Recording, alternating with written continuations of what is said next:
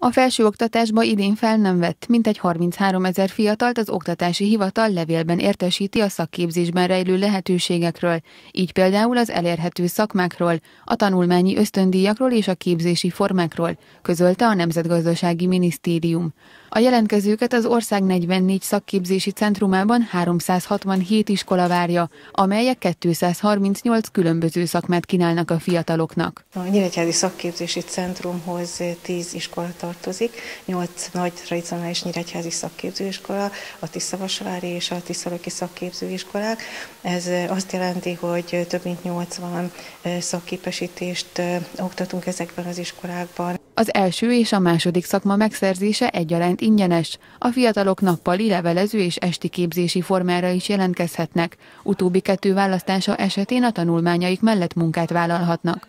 A szakképzésben résztvevő diákok a tanulmányi eredményeiknek megfelelő ösztöndíjat igényelhetnek. Fontos azonban, hogy a meglévő képzettségükhöz vagy tanulmányi eredményeikhez igazítva kapjanak tájékoztatást az elérhető képzésekről. Attól függően, hogy milyen végzettséggel rendelkeznek már, eh, különböző alternatívákat tudunk biztosítani, tehát akinek eh, érettségi bizonyítványa van, neki is tudunk két éves eh, képzéseket ajánlani, például nagyon népszerű a lányok körében a, a fodrász kozmetikus képzés általában, de az egészségügy is tud alternatívákat biztosítani. A különböző technikus képzések, ezek elsősorban két éves képzések, tehát akinek érettségie van, két éves képzéssel tudunk bármilyen technikus képzést. Nyilván mi majd oda irányítjuk abba az intézménybe, aki ezeket a képzéseket folytatja, tehát például ha valaki környezetvédelem vízügy kapcsán szeretne szakképesítést vagy technikus képesítést szerezni, azt majd mi az éviszpe közismert nevén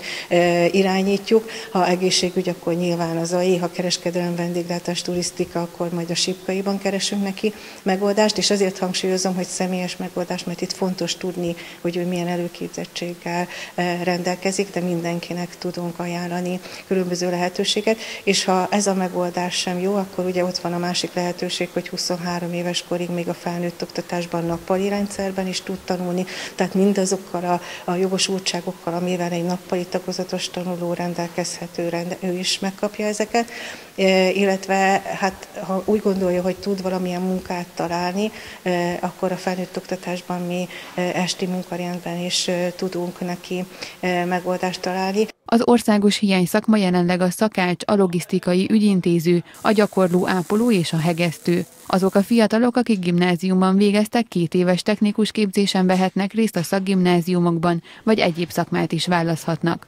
A szakképzési lehetőségekről a Nemzeti Szakképzési és Felnőtt Képzési Hivatal honlapján lehet tájékozódni.